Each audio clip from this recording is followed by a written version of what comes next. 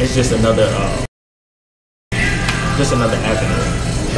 And then, you of course, you have your ratings. It also goes by per store. So, one store, you want to see how your ratings are doing. The customer, it'll give the order ID, what they place, the order they place, who the customer is, and the review that they have. Okay. And that will total up to your uh, five star rating, and then on average. You know, are we able to reply back to the customer if let's say they give me a bad rating?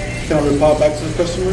I don't think you can reply back to the customer just because it's leaving a review on their end. Uh, now, you will have to.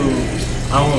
Yeah, I don't think you're able to reply back to the customer. Okay. Yeah, you're not able to. Reply. Are you able to do that on the other ones? You are. Okay. Yeah, because Uber, the other uh, services, like, but at least like, like for Uber, I have, I think it's like two weeks to reply back to the customer. Okay. To let me review.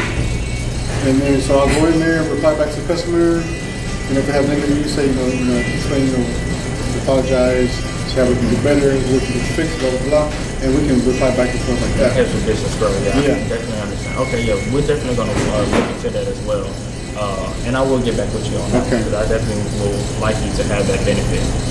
Um, but yeah, this is pretty much just the, the the dashboard as a restaurant vendor owner Okay. and everything that you would be providing.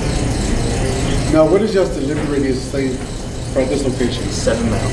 Seven, just said seven miles. Seven miles. Okay. Okay. Any other questions? No. Well, that's pretty much it, guys. This is CP Delivers with Mo's Italia Express with my main guy Jose, and we're gonna be looking forward to uh, adding more stores and adding more um, adding more videos to help you guys understand how to sign up as a Royal Vendor driver and how to sign up as a Royal Vendor as well.